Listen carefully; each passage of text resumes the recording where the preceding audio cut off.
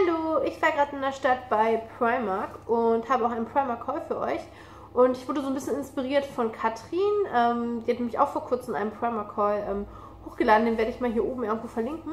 Und äh, da hatte ich total Lust, äh, zu Primark zu fahren und ähm, ja, neue Klamotten für die Kinder zu kaufen. Also ich selber kaufe mir eigentlich nie so richtig Klamotten, aber für die Kinder kaufe ich da gerne, weil es einfach günstig ist und ähm, die Qualität okay ist.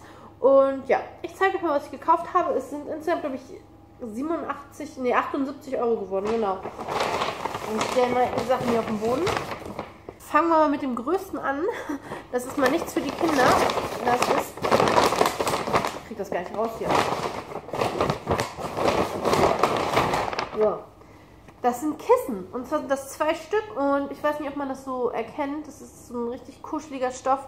Ich bin, was Kissen und was Stoffe angeht, eigentlich sehr empfindlich. Also ich mag nicht jeden Stoff. Ähm, aber dieser Stoff ist so, ich kann das gar nicht sagen, so ein Nicky-Stoff heißt das, glaube ich. Und ich dachte mir, dass das vielleicht hier auf der Couch oder so ganz schön ist oder auch auf dem Bett. Ähm, man kann das auch hier mit dem Reißverschluss dann halt aufmachen und waschen. Und die beiden zusammen haben 10 Euro gekostet. Und ich finde, das geht. Also 5 Euro pro Kissen. Es gibt ja wirklich Kissen, die kosten schon 12 Euro ein Stück oder so. Und deswegen finde ich, ähm, zwei Stück für 10 Euro geht auf jeden Fall. Ich bin gespannt, ob die jetzt auf dem Bett landen oder ähm, auf dem Sofa. Dann habe ich hier nochmal zwei Hosen. Die hatte ich schon mal, oder die habe ich schon in einer anderen Größe für Ben gekauft. Und zwar ähm, sind das diese hier. Also die kennt ihr bestimmt. Ähm, sind einfach so ganz normale Jogginghosen, zwei Stück. Also einmal in so einem Grau und einmal im Schwarz. Ähm, die haben hier, ich weiß nicht, ob ihr das sehen könnt, so hier so noch so eine Art, ja nicht Muster, sondern so eine Naht. Ähm, aber ich finde die ganz cool, die sehen so ein bisschen chillig aus. Die habe ich diesmal in der Größe 92 gekauft. Also Primark fällt immer ein bisschen kleiner aus. Ähm, aber die Hosengröße ist, hat Ben noch irgendwie mal kleiner als oben rum. Die haben 7 Euro gekostet, also 3,50 Euro pro Hose und das finde ich, das geht. Deswegen werde ich jetzt erstmal die anderen ähm, Hosen, die, also es sind ja quasi die gleichen, einfach aussortieren, weil die schon ziemlich eng sitzen und so langsam Hochwasser werden. Ich weiß leider nicht mehr, welche Größe das war. Ich glaube 74 oder sowas. Also ich habe nicht eine Nummer größer genommen, ich habe gleich ein paar Nummern größer genommen. Ähm, muss ich mal schauen, auf jeden Fall werden die ähm, ausgetauscht. So, dann habe ich was für mir. Einmal ähm, eine Strumpfhose. Das sind drei Stück. Ähm, ich hoffe, sie passen. Hier steht 5 bis 6 Jahre und 116 drauf. Die Primark-Größen sind immer anders, aber die Hosengrößen ist mir schon mal aufgefallen, das passt und äh, ich hoffe, das passt auch 116. Ähm, die haben auch 7 Euro gekostet. Ähm, für drei Stück finde ich, das geht eigentlich auch noch.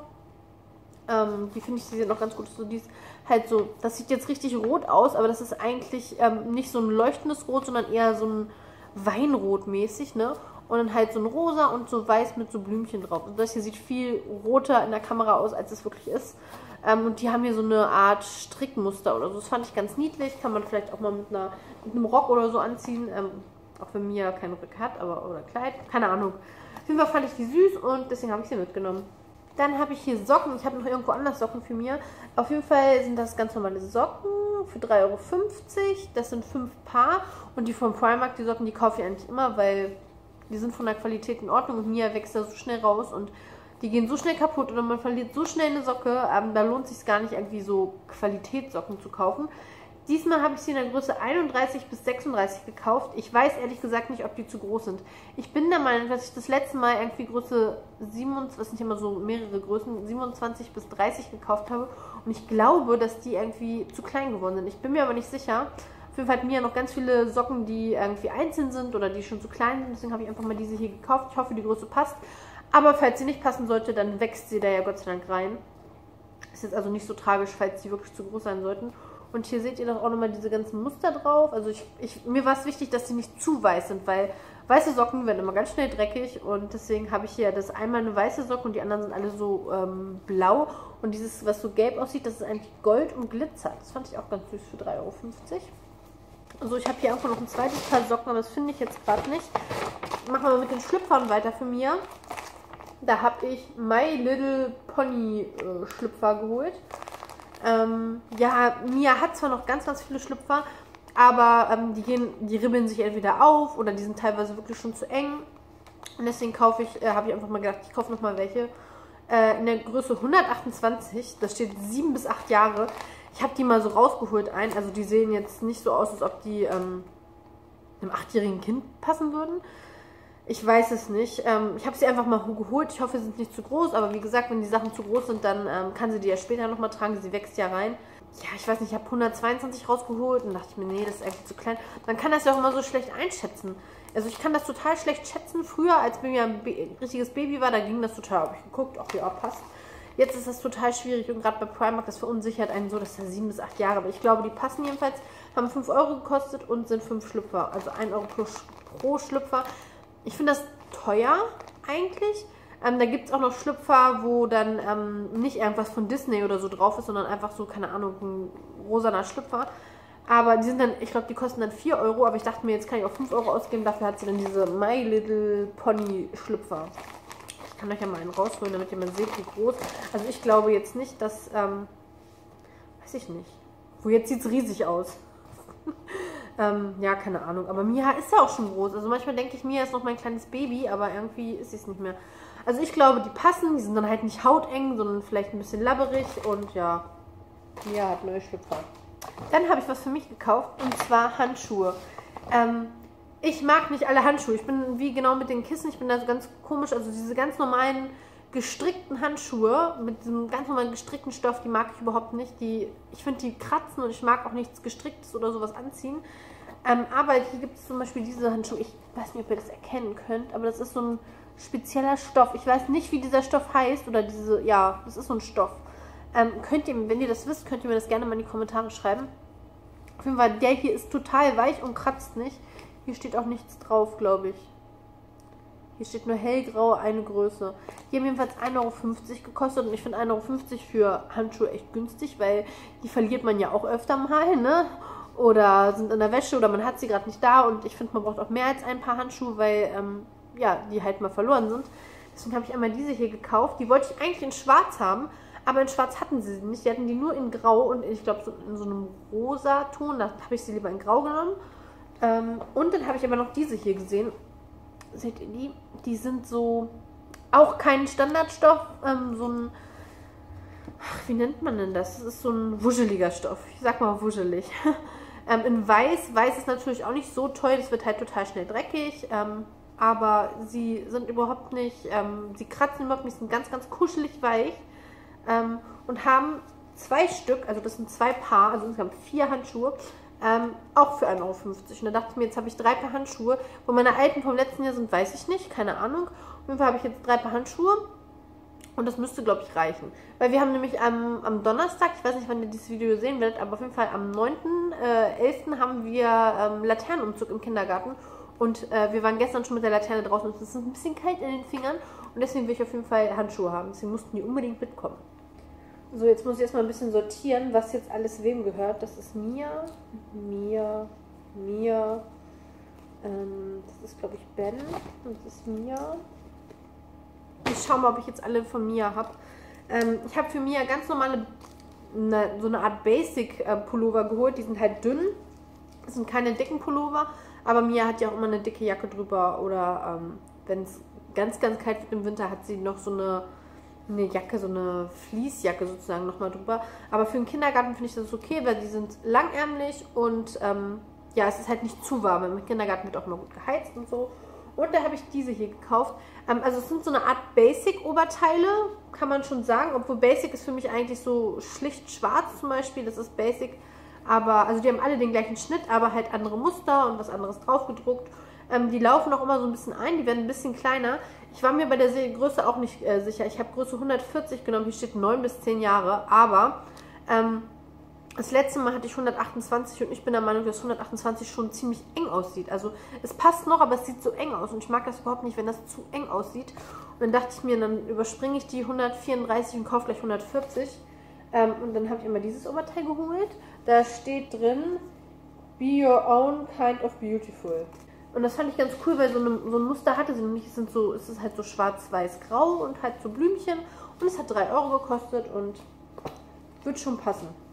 Ich habe also alles in der Größe gekauft, alles in Größe 140 eigentlich von diesen Basic Shirts. Das ist zum Beispiel für mich so ein typisches Basic Shirt. Das ist auch wieder, in der Kamera sieht es roter aus, als das ist, also das ist so ein ganz dunkles Weinrot, würde ich sagen, mit kleinen Herzchen drauf. Und das finde ich auch total süß. Und das hat Äh, auch 3 Euro gekostet. Also ich glaube, die haben alle 3 Euro gekostet. Auch Größe 140. Dann habe ich ähm, dieses hier gekauft in Grau. Und da steht auch was drauf in so silbernen Sch äh, Schrift. Was steht denn da drauf? Squad Goals. Naja, keine Ahnung. Ähm, steht jedenfalls drauf. Ich finde es schön, ich finde es nicht zu auffällig. Da gab es auch welche mit ganz viel Gold und Glitzer und sonst was. Das fand ich dann irgendwie schon, ja, too much irgendwie. Und dieses hier finde ich dann ganz schön relativ schlicht.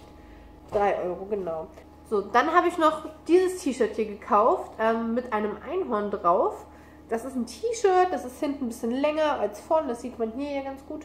Und ähm, in, auch in rosa, ihre Lieblingsfarbe. So ein T-Shirt hat sie sich schon die ganze Zeit gewünscht, ähm, letztes Jahr. Das war runtergesetzt von 9 Euro auf 3 Euro. Ich denke mir immer, für 9 Euro ein ganz normales, stinknormales T-Shirt finde ich immer so ein bisschen blöd, weil kommen schnell Flecken drauf, dann wird es schnell zu klein oder geht kaputt oder sowas. Aber hier ist, ich weiß nicht, ob ihr es seht, hier ist halt ein Einhorn drauf und man kann das so hochwischen. Ich mache das jetzt einfach mal. So. Funktioniert nicht überall so richtig, aber ja, ihr könnt es erkennen. Jedenfalls kann man das hochwischen und dann ist da ein Panda-Bär drauf. Und dann kann man es auch wieder runterwischen, dann ist es wieder ein Einhorn und so. Und so ein T-Shirt hat Mia sich schon die ganze Zeit gewünscht, weil ihre Freundin Amy hatte so ein T-Shirt, ich glaube mit so einem Smiley oder sowas. Und das wollte sie unbedingt haben, aber mir waren eigentlich 9 Euro für ein ganz normales T-Shirt immer zu teuer. Und jetzt für 3 Euro, und das kann sie halt auch jetzt, jetzt noch anziehen, vielleicht ein Pullover drunter oder auch wenn es mal zum Sport oder sowas. Und ich glaube, dass es nächsten Sommer auch noch passen wird, weil es noch relativ groß ist. Das ist aber Größe 134, weil das fand ich jetzt irgendwie ähm, relativ groß. Jetzt habe ich hier ein paar Pullover für Ben. Und da war ich mir auch nicht sicher bei der Größe. Ich hatte ein Vergleichsstück mit dabei. Äh, ein Pullover, der ihm ja hauteng ist, sagen wir es mal so. Also wusste ich, dass ich ungefähr eine Nummer größer holen muss. Diese hier sind etwas ähm, breiter, finde ich, geschnitten. Also die sind ähm, viel, viel breiter als das andere. Und auch länger. Das ist Größe 92. Und ich bin gespannt, ob es ihm schon passt. Also es sieht irgendwie sehr groß aus. So ein Hustenanfall später. Ähm, ich bin gespannt, ob es ihm passt. Es sieht sehr groß aus, aber ja, keine Ahnung. Hier steht äh, cutest Kid ever, also süßestes Kind ever. Und ähm, ja, das finde ich so grau, finde ich steht ihm sehr gut. Dann habe ich ähm, auch nochmal ein anderes Graues geholt, weil ich finde, Grau ist eigentlich seine Farbe. Mit so was Roten drauf gestrickt. Ähm, Troublemaker. genau, das äh, passt ja irgendwie auch ein bisschen zu Ben. Die haben übrigens alle, ähm, ich glaube, 2,50 Euro gekostet, ne? Größe 92. Dann fand ich dieses hier, die Farbe fand ich auch so gut. Also, ähm, das ist halt, ähm, es ist halt ein Grau, aber eher so ein dunkles Grau mit Schwarz vorne dran. Äh, awesome steht da drauf. Fand ich auch richtig niedlich. Und dann habe ich äh, diesen Pullover gesehen. Den habe ich bei Katrin gesehen, bin ich der Meinung. Also ich bin der Meinung, das ist der gleiche. Jedenfalls mit T-Rex hat sie nämlich noch gesagt, dass ähm, ihr Sohn T-Rex total gerne mag, also Dinosaurier. Und das habe ich dann auch nochmal geholt. Das ist halt eher so ein Weihnachtspullover, ne? Mit, ähm, könnt ihr das sehen, der hat so eine Weihnachtsmütze auf. Das fand ich irgendwie auch niedlich für Jungs. Also Ben ist jetzt ja noch kein Fan von Dinosauriern, aber ich fand es irgendwie süß. Habe ich auch mitgenommen. So, ah, hier sind die anderen paar Socken. Hier sind die.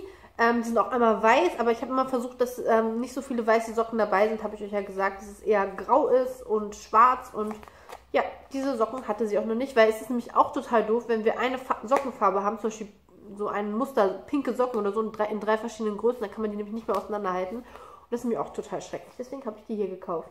So, es wird langsam äh, leerer in meiner Tüte. Äh, ich habe nochmal eine Leggings geholt. Die gab es irgendwie nur in 128. Ich glaube, die ist mir ja zu groß. Es ist so ein ähm, grau, ein dunkelgrau. Ich glaube, sie ist ihr zu groß, ähm, aber dann werden wir nochmal, ähm, ja, warten. Leggings kann man ja irgendwie immer gebrauchen. Die haben 2,50 Euro gekostet, fand ich jetzt ganz okay. Dann habe ich hier, glaube ich, noch einen Pullover, ja. Der war noch ganz unten. Ähm, auch nochmal 140 mit einem Einhorn drauf. Und sie liebt die Einhörner und findet das total toll. Deswegen habe ich es auch nochmal gekauft. Äh, auch für 3 Euro. Und dann war das hier im Angebot. Das ist ein ähm, Nachthemd, ein ziemlich langes. Da steht Hashtag NapQueen drauf. Und es ist so ein Babyblau, das finde ich auch ganz süß. Und das war auch von 6 Euro auf 3 Euro runter reduziert. Ähm, wo auch immer das jetzt steht. Äh, es war auf jeden Fall reduziert. Irgendwie steht es jetzt hier nicht mehr drauf. Aber ähm, für 3 Euro dachte ich mir, können wir ja mal mitnehmen. Und das finde ich ganz süß, weil Mia liebt Nachthemden. Also sie ist jetzt kein Mensch, Mensch, der jetzt so gerne ähm, ja, richtige Pyjamas anzieht, also an den Hosen. Sie will das gerne, also dass die Beine nackig sind. Und sie liebt halt Nachthemden. Und wir haben zwar noch ein paar, also wir haben eigentlich genug Nachthemden, aber ich dachte, für 3 Euro können wir es mitnehmen. Und das ist auch größer, das ist auch Größe 100, weiß ich jetzt gar nicht, äh, 134. Also es ist relativ lang und äh, wird auch noch, ähm, ich glaube, ein halbes Jahr bis Jahr passen oder so. Und ich finde es halt gut, dass es irgendwie äh, Kurzarm ist. Wir haben nämlich zwei Nachthemden, die Langarm sind und ich finde Kurzarm halt auch immer schön. Selbst beim Win im Winter finde ich Kurzarm schön und das finde ich jedenfalls besser als ähm, einen ganz normalen Schlafanzug. So, und jetzt habe ich die letzten Sachen für euch. Das ist so ein bisschen schmuckmäßig. Ähm, ja, wenn ihr Mia kennt, dann wisst ihr ja immer, dass sie ihre Haare überall ähm, rumfliegen und deswegen braucht sie Haarspangen. Und hier sind immer zwölf Haarspangen, also diese ganz normalen Haarclip-Dinger, die sie immer so benutzt. Ähm, da sind immer zwölf Stück drin für 1,50 Euro. Wir verlieren die ja auch öfter. Ähm, diesmal habe ich mir vorgenommen, so eine ähm, kleine Tupperdose zu nehmen und die immer in diese Tupperdose reinzupacken. Da sind da zwölf Stück drin in ähm, schwarz, weiß, silber sozusagen. Dann habe ich nochmal hier rot, weiß und blau gekauft. Und dann hier, ähm, die hatten wir auch schon mal, die finde ich auch richtig cool. Da sind zum Beispiel hier diese hier. Zeige ich euch mal. So, sieht so ein bisschen leopardenmäßig aus und golden und das findet sie auch mal ganz toll. Und die habe ich auch noch mitgenommen. Also insgesamt hat sie jetzt äh, über 30 ähm, Haarspangen, neue. Und dann könnten ihre Frisuren wieder schön machen. Und das ist halt nicht, ich finde es halt nicht so schlimm, wenn da mal eine verloren geht oder sowas.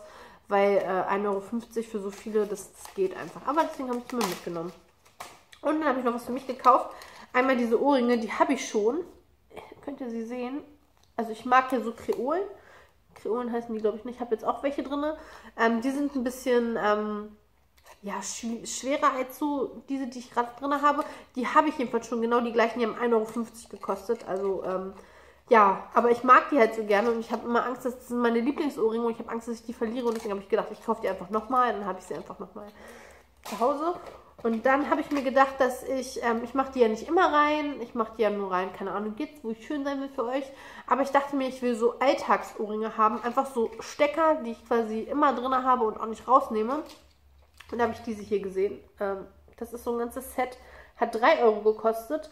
Und da sind halt unten auch so kleine Mini-Kreolen und hier oben, ähm, ja, sind dann halt so Ohrstecker. Und die haben halt 3 Euro gekostet und die sind halt einmal in ganz normalem Gold, einmal in Silber und einmal in Rose Gold. Und ich habe noch gar nichts in Rose Gold, aber ich finde Rose Gold eigentlich so schön. Ich dachte mir für 3 Euro, ich will es einfach mal ausprobieren. Ich weiß auch gar nicht, ob mir ähm, Gold überhaupt steht. Also ich habe früher Goldschmuck gehabt, also meine Oma und Opa, die haben immer eine goldene Kette für mich gekauft oder so. Aber meine Mama ist eher so Silberschmuck und deswegen bin ich dann eigentlich auf Silberschmuck umgestiegen, keine Ahnung. Ich weiß gar nicht, ob es mir steht, aber ähm, ich dachte, für 3 Euro kann ich es ja einfach mal ausprobieren. Genau. Und ja, das war es eigentlich mit meinem Haul. Ich zeige auch mal hier ähm, das Ausmaß nochmal. Da sind die ganzen Sachen. Ähm, die muss ich jetzt natürlich alle noch waschen und äh, Schnipsel abmachen. Das ist natürlich auch mal eine Arbeit. Aber ich hoffe, es hat euch gefallen. Ich habe, wie gesagt, ungefähr 78 Euro, glaube ich, ausgegeben. Ich schau mal. Ja, hier ist der Bon. Ähm, 78,30 Euro. Und die haben mir gesagt, ich kann das alles umtauschen bis zum 31. Januar. Die haben jetzt drei Monate ähm, Umtauschrecht. Das ist ein bisschen krass. Äh, die meinten halt wegen Weihnachten und so. Aber ja, ich glaube, ich behalte alles. Also ich glaube nicht, dass ich irgendwas zurückgeben möchte. Aber ich finde es trotzdem gut, ähm, dass die halt so ein langes Umtauschrecht haben. Und ja, das war's damit. Und ich wünsche euch noch einen tollen Tag. Ich hoffe, euch hat der Haul gefallen. Schaut unbedingt mal bei Katrin vorbei. Ich verlinke sie euch auch noch, hier, noch mal hier hinten im Hintergrund. Ähm, und dann, äh, ja, wünsche ich euch noch einen tollen Tag. Bis zum nächsten Mal. Tschüss.